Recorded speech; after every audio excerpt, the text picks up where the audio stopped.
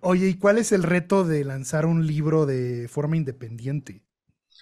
Pues mira, sí es complicado porque la chamba te la llevas toda y porque tú lo tienes que comercializar, tú lo tienes que buscar todo el, editor, eh, diseñar el libro, o sea, quién te lo diseña, buscar hasta quién te lo va a imprimir, de cómo imprimen, o sea, ir, lo formas poco a poco hasta dónde va a estar el número de la hoja, eh, no, yo no sabía, yo les digo de que yo no sabía ni cuál era el lomo, se me había olvidado completamente lomo contraportada o portada, o sea, nada, yo ya me acordaba de eso que te hacían en la primaria, ¿no?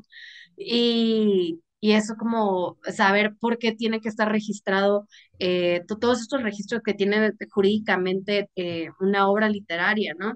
Y yo dije, pues yo soy abogada, tengo que saber moverme. Y, y ya, fue lo que, lo que hice y al final sí batallé y más porque estaba como en este tema de la pandemia y esas cosas que todavía estaba como eh, todo muy tardado, sobre todo en, en, en esto de la burocracia,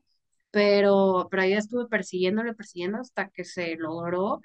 y, y ya, y como pude, pues lo saqué, o sea, invertí mis ahorros, o sea, todo y fue, dije, ya, o sea, tiene que nacer, ya si me muero mañana, no importa, porque ya está el libro ahí.